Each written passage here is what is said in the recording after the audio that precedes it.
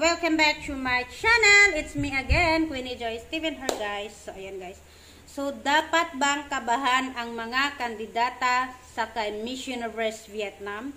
Dahil umaarangkada ngayon si Miss Universe Vietnam. So, let's watch this video.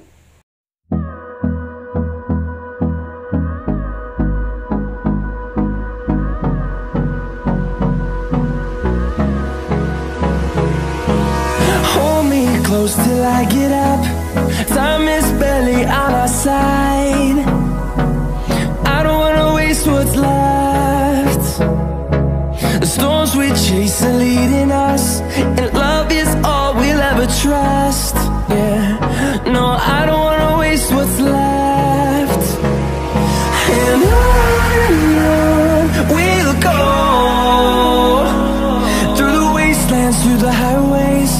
till my shadow turns to sun rays.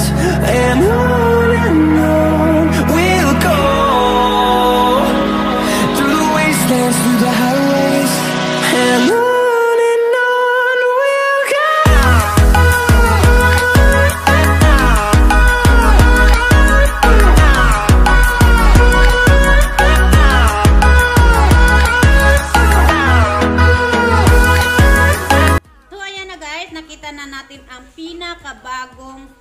shoot ni Miss Vietnam.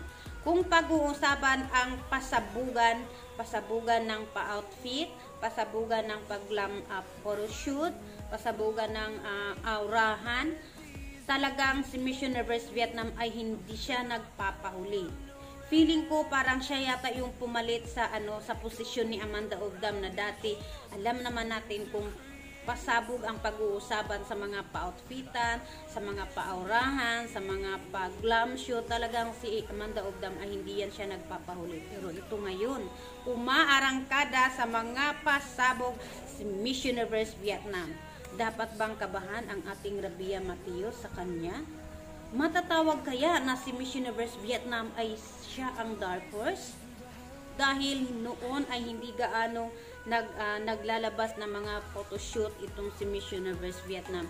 Piling-pili lang ang kanyang mga ah, uploaded ah, photo sa kanyang IG.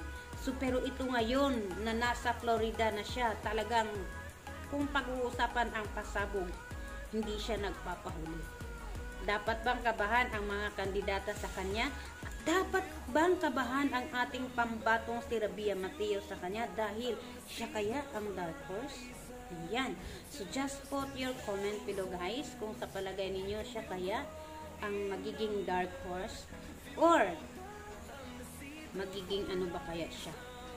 So, ayan. Sa mga hindi pa nakasubscribe, don't forget to subscribe my channel and also hit the notification bell as well para magiging updated ka sa aking mga uploaded videos. So, ayan. Thank you guys for watching and see you on my next vlog.